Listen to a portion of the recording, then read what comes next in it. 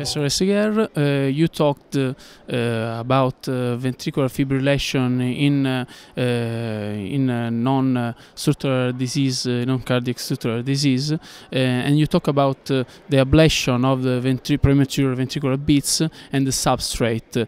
what you can tell us about? In in patients without structural heart disease, ventricular fibrillation can be initiated by ectopic beat most of them in Brugada are from the RVOT, and uh, in uh, Purkinje heart disease, uh, particularly in idiopathic VF, Purkinje beat are the main uh, source triggering ventricular fibrillation.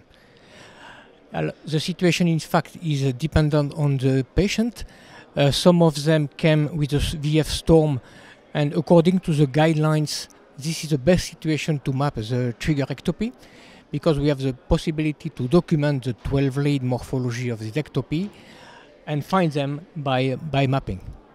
Now, unfortunately, uh, a good part of these patients with uh, idiopathic VF have no ectopic beats, and in that case, we have a new means uh, to document what is the source of their ventricular fibrillation.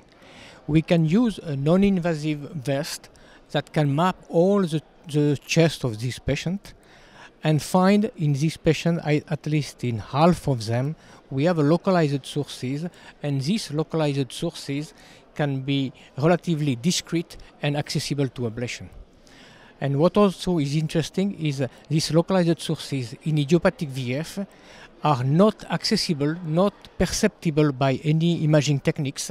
They are below the diagnostic capability of MRI, of Ajmaline, of Isuprel, and this is a relatively new perspective because in addition to trigger ablation, we have the possibility to map VF and the substrate and find in half of the patient some localized sources that can be accessible to an ablation therapy.